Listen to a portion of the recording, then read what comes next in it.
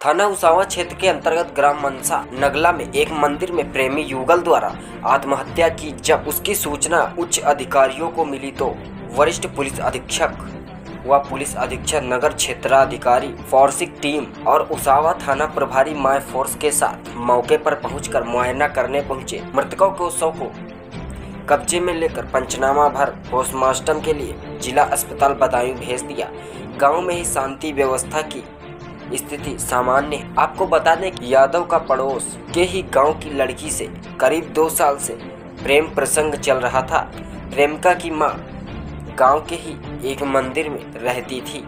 शनिवार सुबह जब प्रेमिका की माँ ने गाँव के ही मंदिर में दोनों को फांसी के फंदे पर लटकता देखा तो उनके होश उड़ गए। इधर प्रेमी युगल के फांसी लगाने की घटना को लेकर गाँव में तरह तरह के चर्चे हैं। लोगों का कहना है, प्रेमी की पिटाई के बाद उसके शव को लटका दिया गया। जिस कपड़े से उसे लटकाया गया, उसी कपड़े में प्रेमिका ने भी फांसी लगा ली। लड़की के घर वालों का कहना है कि लड़के ने खुदकुशी की थी। इसके बाद लड़की भी फांसी के फंदे पर झूल गई।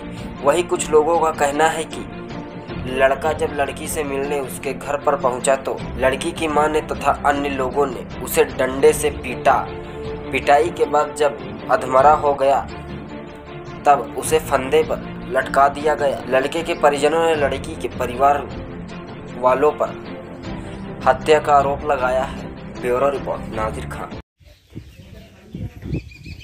Sir, ये मनसा नगला में प्रेम जोड़े ने खुद आत्महत्या की है फांसी के फंदे पर लटकर मिला सर क्या पूरा?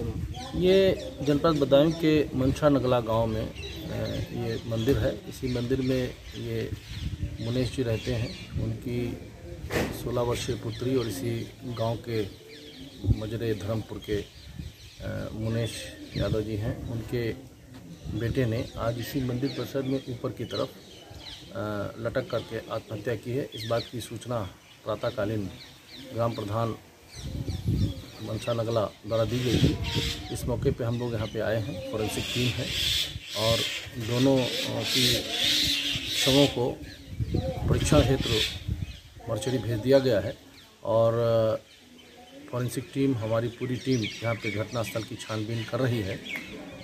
हम शीघ्र ही जो इस घटना के आत्महत्या के क्या कारण हैं, इसका पता लगाएँगे।